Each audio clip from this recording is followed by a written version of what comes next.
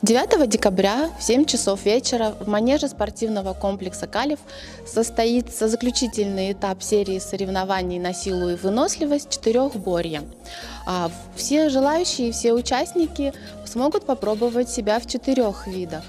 Это перекатывание по крышке, удары канатом о пол, вис на перекладине и еще в одном новом виде э, статический полуприсед с отягощением. Э, это сидение, опираясь спиной о стену с тяжестями. Соревнования будут э, на этот раз проходить в двух категориях – женщины и мужчины.